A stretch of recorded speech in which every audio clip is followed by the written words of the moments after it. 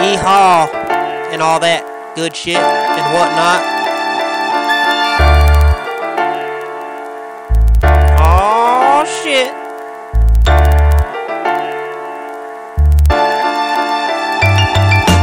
Hi there, hi y'all, hee it's me, Mr. Can't Rap for Shit, Trailer Trash Honky. Just saying what's up, how you been? I've been fine. I'm trying to look gangster with my pants below my waistline. I got my hat crooked cause my boys say I look hard. I socks pulled up to my knees like a retard. I can't get it right even though I try and try. They say I can't get it cause I'm a fucking white guy. I'm not trying to be black, so stop calling me a wigger. And about your fucking myths, bitch, I know my dick is bigger. My rims are big too, just check those 26s. Mad cause mine are bigger, just like this fucking dick is. Bitch, I'm the boss, the only employee. And my job is to wake up pretending I'm an OG. Doing drive-bys with my airsoft BBs. Bumping rap music on my scratched up CDs.